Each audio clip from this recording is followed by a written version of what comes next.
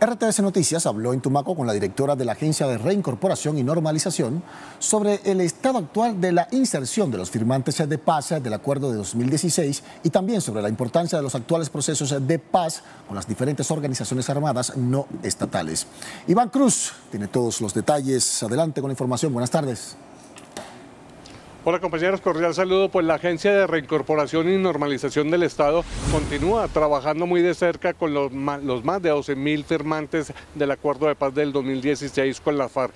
Este fin de semana su directora estuvo en Tumaco para conocer de cerca las necesidades de las comunidades y también de algunos firmantes que viven en ese litoral del Pacífico colombiano nariñense.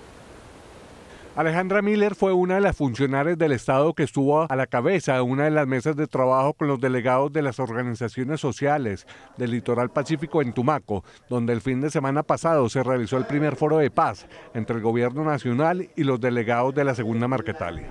Yo creo que es muy importante porque estamos aquí con más de 200 líderes y lideresas de toda esta región del Pacífico en el marco de este proceso de diálogo y de negociación con la segunda Marquetalia.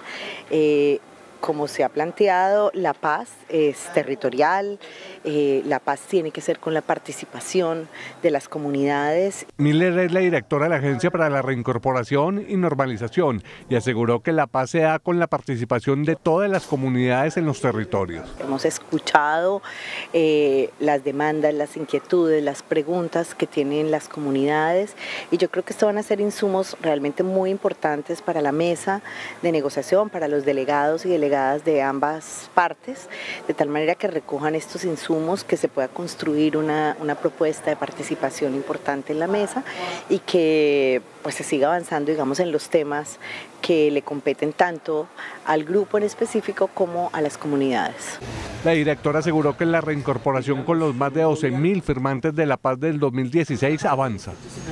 Tenemos avances importantes en la reincorporación económica con la estrategia de sostenibilidad, avances en la reincorporación política con todo el fortalecimiento de las herramientas políticas para que ellos y ellas eh, participen activamente en el, desarrollo de la sociedad y de las comunidades.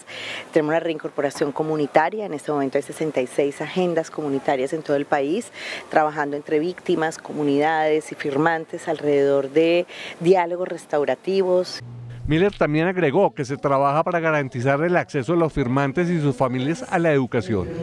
Tenemos la reincorporación social que tiene que ver con la posibilidad de acceso, por ejemplo, a la educación de los y de las firmantes. Hemos ampliado el fondo del ICETEX para que hoy no solamente los y las firmantes puedan acceder a educación superior, sino también sus hijos e hijas a través de estas becas que trabajamos con el ICETEX. Alejandra Miller aseguró que la agencia trabaja para ponerse al día y superar todos los problemas que sufrió la reincorporación de los firmantes en los gobiernos anteriores.